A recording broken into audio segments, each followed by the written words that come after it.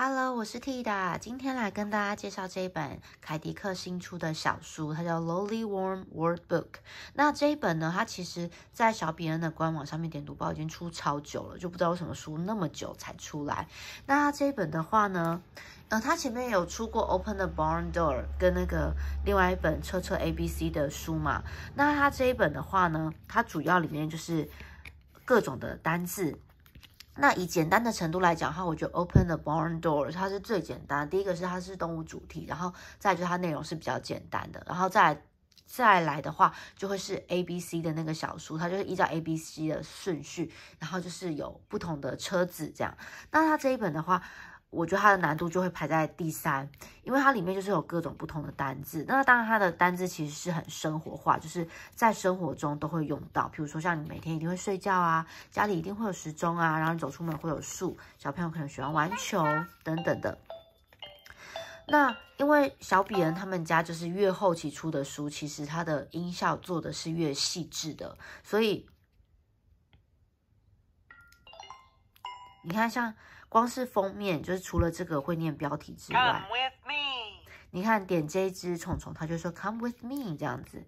然后在单字的部分，除了说你点单字，它会告诉你是什么之外，它也都会有配音效。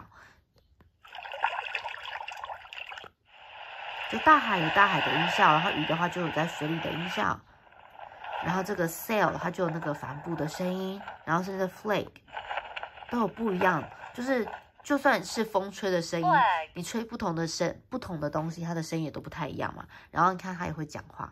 I am the best sailor。好，然后再来。It's a sunny day。就这只虫虫先生，他会依照就是你所在的场景不同，它就会有不一样的对白。然后，嗯，大风下，风大树下，风吹的声音。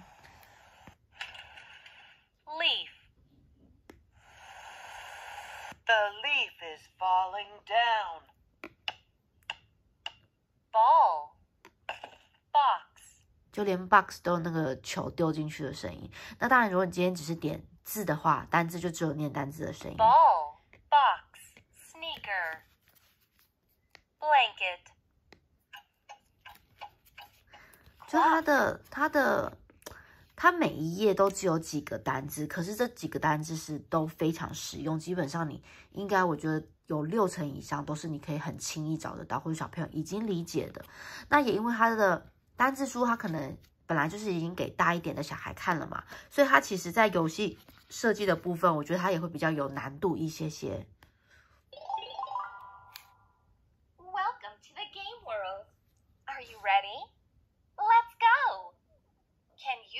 a red car? Red Let's car. try it. Red car.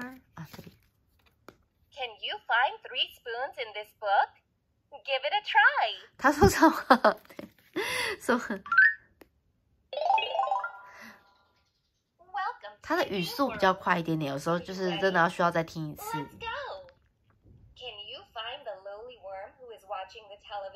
OK，好像这个问题就稍微有一点点难度。他说要要去找，就是看那个电视 television 的那一只虫啊，也就是这个。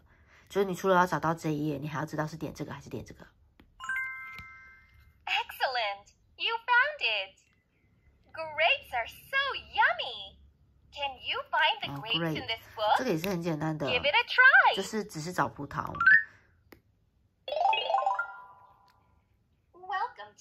World. Are you ready?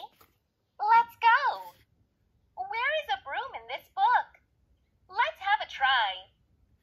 好，就是刚刚我听到也有一个比较难的是，他说这本书里面总共有四个这个餐巾，就是 napkin，然后说就是要请你都找出来，然后我就很认真翻了一下，真的找了一下才找到四个在哪里。